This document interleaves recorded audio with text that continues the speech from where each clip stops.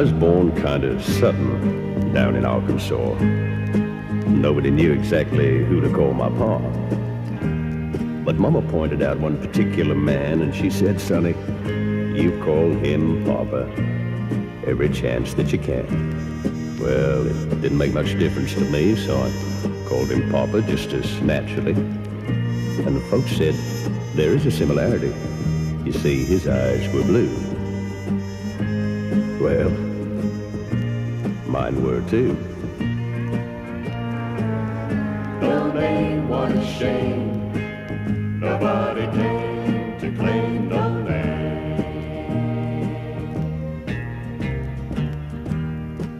Well, the years passed by, and as kids will do, I had lots of grits, and I grew and I grew. Still, nobody came to make a claim. So I started out right then and there just to make myself a name. Mama said, Sonny, everybody makes mistakes. You gotta keep your chin up and look the world in the face. Don't you go judging others if they're rich or poor or what, cause it ain't who you are. It's what you do with what you've got. No name, what a shame. Nobody came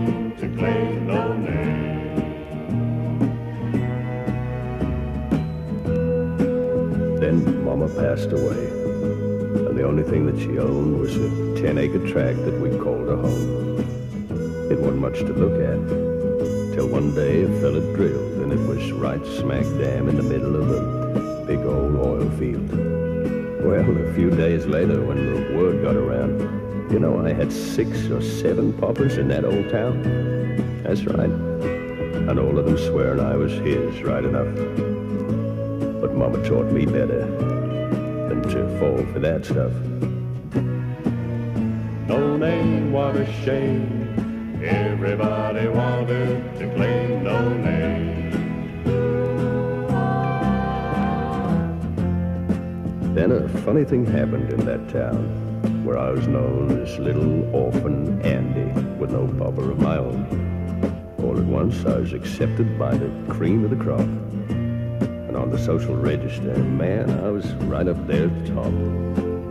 But it didn't matter, because I didn't have the time. I had lots of other things that was on my mind, like a hospital, church house, school, and some others.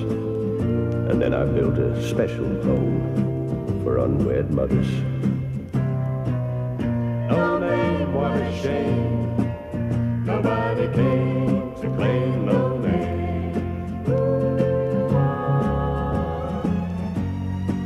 Well, just the other morning, the townsfolk came around, and they said that I should ought to meet them on the outskirts of town. Well, driving up, I wondered why so many people came, and then I saw this great big sign that said, Welcome to No Name. Well, it's kind of late, but Mama, I wanted you to know I remember all the things that you said a long time ago. But most of all, Mama, I want to tell you what.